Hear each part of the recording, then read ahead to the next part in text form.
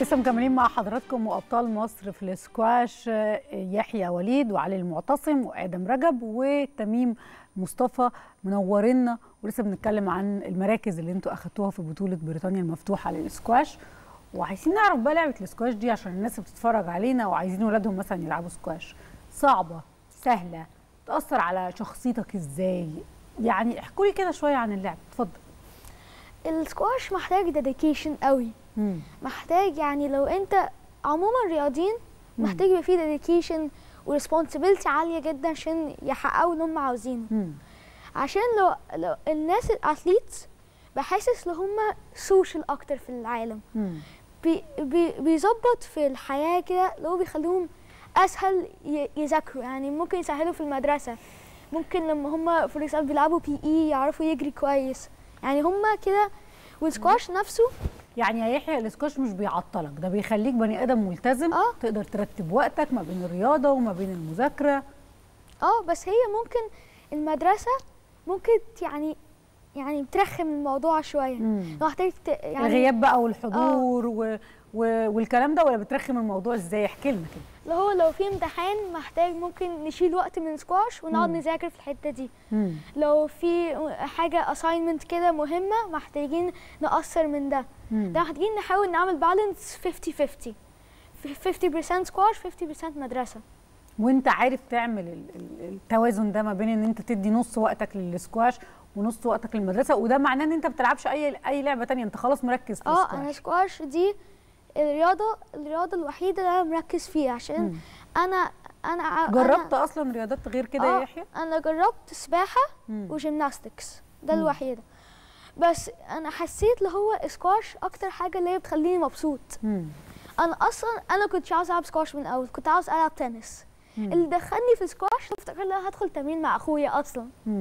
ده لما أنا دخلت أنا كنت بقعد سبع ساعات جوه الملعب مش عاوز أمشي من كتر ما انت حبيت آه اللعبة. أنا كنت قاعد سبع ساعات بي... وبال يعني أخويا كان بيتمرن تمرينة وبيانو بعدين ماشيين أنا كنت جو أنا كنت جوه سكواش كنتش بطلع من الملعب. مم. لا الأص... وبيخليني أنا أحس إن أنا عاوز أعمل ده أكتر. عاوز أم... خلاص عاوز أعمل solo training أكتر. أنت عايز آه السكواش بالظبط كده. طب علي قول لي اللعبة بالنسبة لك صعبة ولا سهلة؟ وانها أنت البيت عندك كله بيلعب سكواش فالمفروض إن أنت بتشوف ده طول الوقت. هو في الأول هتبقى صعبة لسه مش عارف تلعب. دي هتبقى سهلة تقدر تلعب في أي وقت. مم. أكتر حاجة أنت كنت شايف إن أنا يعني هبقى قادر على اللعبة دي ولا مش هبقى قادر عليها بسبب ال- الموضوع ده مثلا شفته مع أخواتك؟ م- مسألة مثلا التوفيق ما بين المذاكرة ولا أنت يعني موضوعك إيه في المذاكرة؟ يعني احكي لي كده الدنيا ماشية إزاي بين المذاكرة والسكواش. يعني يحيى قال إن هو ماشي نص ونص. أنا ماشي بصحى أتمرن دي بذاكر ودي أروح أتمرن. بتتمرن كل يوم؟ أيوة. كام ساعة بقى في اليوم؟ آه، تمرين تبقى ساعة. ساعة. وأنت حابب السكواش ولا أنت لقيت أخواتك داخلين سكواش فأنت يعني خدتهم قدوة ودخلت سكواش؟ لا أنا أخويا الأول بدأ يلعب سكواش. بعدين قلت أجرب ألعب معاه. دي حبيتها. فأختي دخلت تلعب معاه مم. التلاتة بدأنا ومين اللي. أقوى في البيت؟ الفريق الولاد ولا البنت؟ مين أقوى. آه، الولاد. الولاد أنت شايف كده؟ أيوة أنا هسأل لأن أنا عارفة إن هي كمان شاطرة. أيوة. طب آدم قول لي أنت إزاي شايف اللعبة أثرت في شخصيتك؟ هل إن البني آدم يبقى رياضي وبيحقق بطولات و... وزي ما إحنا بنشوف كده كل العالم بيتكلم عن مو صلاح وأبطالنا في كل آه، اللعبات إزاي المصري ممكن إن هو يقدر من وهو صغير في لعبة زي الاسكواش والحقيقة أنتم محققين ده بشكل كبير. العالم كله يتكلم عنه وأساميه تكون موجودة في بطولات كبيرة زي بطولة بريطانيا للسكواش. هو في الأول سكواش هتبقى صعبة بس لازم تاخدها واحدة واحدة. كل شوية كل تمرين هتتحسن.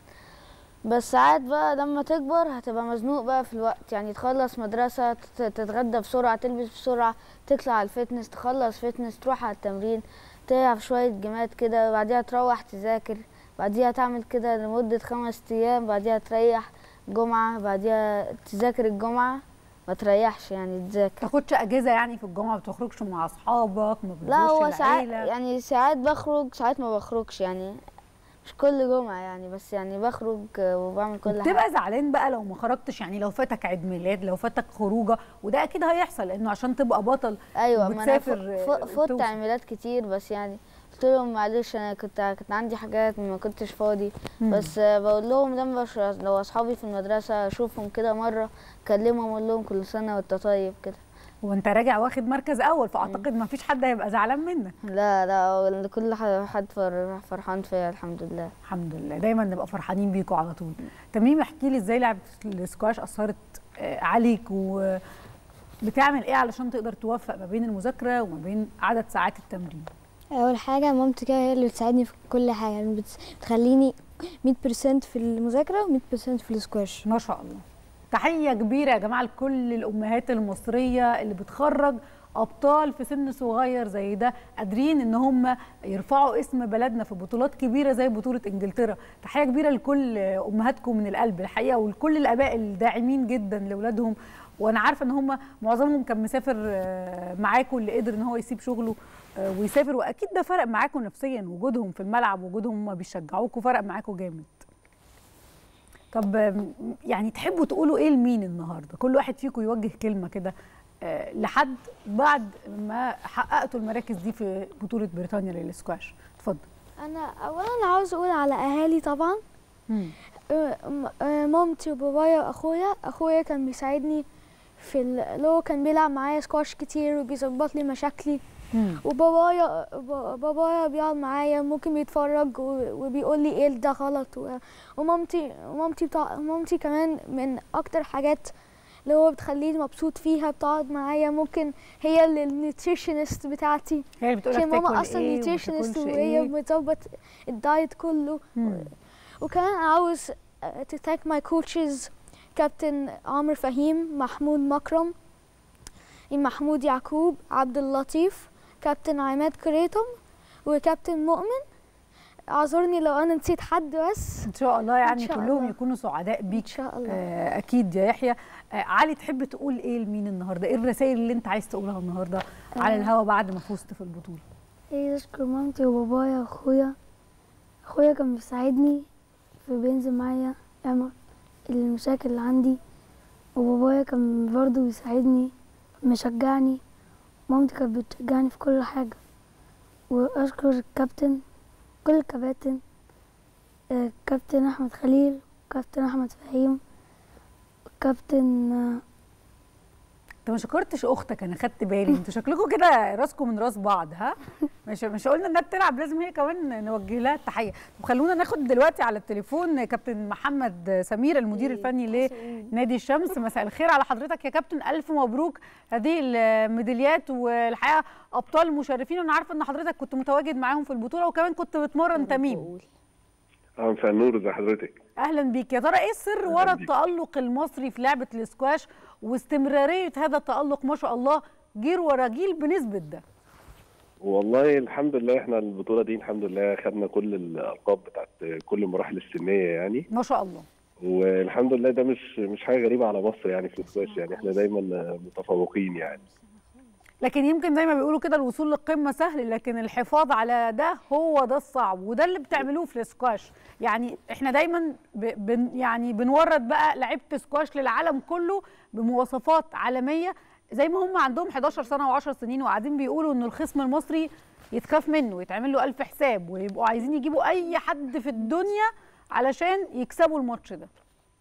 دي حقيقة فعلا. إحنا عندنا دايما مصر ولادة يعني دايما ولاد جيل ولا جيل زي ما حضرتك بتقولي كده. مم. والسر في كده يمكن إن إحنا عندنا أبطال وفي يعني أبطال عالم زي علي فرج وزي مصطفى عسل وزي نور الشربيني وقبلهم كان رنيم الوليلي يعني في أبطال كتير. والولاد كل الولاد اللي بتبقى طالعة بتتعلم من الناس دي وبيقابلوا أهاليهم ويعرفوا الطريق زي ما بيقولوا إيه إيه اللي المفروض نعمله. و- فكله بيتعلم من كله. يعني الولاد بتتعلم من اللعيبه والأهالي بتتعلم من الع- من الأهالي اللي قبلها. إيه اللي المفروض نعمله فكله بيتحط على التراك المظبوط زي ما بيقولوا وتلاقي واحدة ورا واحدة. وطبعا عندنا يعني مدربين كتير قوي في مصر الحمد لله يعني مطلوبين في كل حتة يروحوا. في عندنا اوريدي مدربين فعلا بيسافروا. بيجي لهم من بره وبيسافروا وكده. آه، طبعا ده نتيجة التفوق المصري يعني الرهيب في في اللعبة يعني. الاصداء كانت عاملة إزاي يا كابتن في البطولة بعد ما مصر حصلت على العلامة الكاملة في البطولة؟ كانت ردود الفعل عاملة إزاي؟ والله يعني مش آه، كانوا هيتجننوا مننا يعني. يعني إحنا طبعا شايفين اكتساح تقريبا آه، واخدين كل المراحل وغير إن إحنا خدنا كل المراحل إحنا كان عندنا في ست مراحل من العشرة كان ال final مصري بس يعني مم. اثنين مصريين بيلعبوا بعض. ده ده عادي في الاسكواش ده بنشوفه كتير في كل المراحل العمرية الحقيقة. دي دي حقيقة دي حقيقة. فطبعا آه، هم يعني كل الدول بتحاول يعني دايما بيقعدوا يسألوا هم الناس دي بيعملوا إيه يعني ثانية واحدة يا كابتن بس عشان هما بيرغوا جنبي. ممكن نسمع يا كابتن من غير ما نرغي؟ اتفضل يا كابتن. تصدق هم بره دايما بيسألوا يعني أنتوا بتعملوا إيه وازاي بتوصلوا لكده و- والكلام ده كله. بس طبعا إحنا عندنا هنا يعني كل لعيب يعني عندنا في مصر من الولاد الصغيرين دول كلهم هتلاقي ليه coach كتير مدربين سكواش ومدربين fitness وفي دكاترة تغذية ودكتور physio ودكاترة mental يعني المنظومة كاملة متكاملة. رأيك إيه في الجيل ده؟ يا- كابتن؟ ولي الأمر يعني بيبقى في ظهرهم في كل حاجة يعني. رأيك إيه في الجيل اللي داخل ده اللي النهارده سبب في ان مصر تحصل على العلامة الكاملة في بطولة بريطانيا المفتوحة للسكواش تقول لهم إيه؟ لا ما شاء الله عليهم. يعني النتيجة خير عنوان للكلام ده يعني شايفة ما شاء الله هم مكتسحين والأربعة اللي عندك دول ما شاء الله يعني أبطال كلهم بيقطعوا مصر بيقطعوا بعض هنا في البطولات اللي في مصر. فطبيعي لما يطلعوا بره لازم يعملوا النتيجة دي يعني ما شاء الله عليهم يعني. طب تميم تحب تقول حاجة لكابتن محمد؟ آه طبعا. كابتن محمد يعني هو ال coach الأساسي بتاعي وعايز أشكره طبعا كتير جدا. حبيبي يا تيمو ربنا يوفقك إن شاء الله في اللي جاي وإن شاء الله اللي جاي أحسن ليهم كلهم ويفضلوا كده أبطال لغاية ما يبقوا بيسافروا بقى البطولات ال PSA زي اللعيبة الكبار كده علي فرج ومصطفى عسل و... و... وكل اللعيبة وطارق مؤمن وكل اللعيبة دي كلها يعني. إحنا بنشكرك. شكرا جزيلا كابتن محمد سمير المدير الفني إيه؟ لنادي الشمس. شكرا جزيلا على وجودك معانا. يعني. طيب كنا بنكمل كل واحد فيكم يقول رسائل لمين؟ آدم تحب تكون رسالتك لمين النهارده؟ أنا أحب أش- أشكر يعني كل حد اللي ساعدني بس هم أسامي كتير قوي بصراحة. يعني كلهم. أحب حتى لو أنت مش أشكر كابتن. معتز كابتن عادل إغا كابتن أحمد شحاتة كابتن حسام شداد كابتن كابتن تامر عصام كابتن أحمد حسني وعيلتي طبعا مامتي وبابايا وأخويا وأختي وخالتي وقرايبي و... وجدتي وكل حد يعني. نشكرهم جميعا. إحنا بنشكر كل الأسر المصرية اللي بتحاول طول الوقت إنها تخرج لنا شباب زي الورد يفرحوا ويشرفونا قدام العالم كله. تميم تحب النهارده تقول رسالتك لمين؟ طبعا هبتدي ببابايا آه، كريم ومامتي. وطبعا أشكر كل الكباتن بتاعي من كابتن محمد سمير كابتن علي هشماوي كابتن عبد اللطيف وكابتن دكتور منتل آه، دكتور شكري ومين تاني؟ وكابتن النادي طبعا دك... آه، كابتن محمود مكرم. مين تاني؟ مين تاني؟ إحنا بنشكر و- كل القائمين على لعبة الاسكواش في مصر الحقيقة. آه، أشكر المدير الفني بتاع وادي دجلة كابتن بيسو وكابتن كريم درويش طبعا. مين تاني مثلا؟ آه وكابتن كابتن زياد برضو بيمرني في النادي برضو عايز أشكره بيعمل معايا مجهود. بنشكركم أنتوا على مجهودكم العظيم علشان النهارده تشرفونا في بطولة بريطانيا المفتوحة للسكواش. ونشوف المراكز الأولى الأربعة يعني كانوا معانا النهارده. وإن مصر تحصل على العلامة الكاملة ده حدث تاريخي الحقيقة.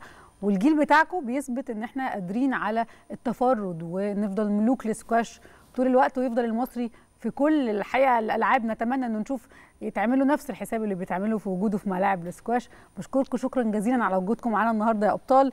آه يحيى آه وليد وعلي المعتصم وآدم رجب وتميم مصطفى. شكرا نورتونا النهارده. شكرا. كده مشاهدينا وصلنا لآخر حلقتنا. دايما نشوفكم على ألف خير.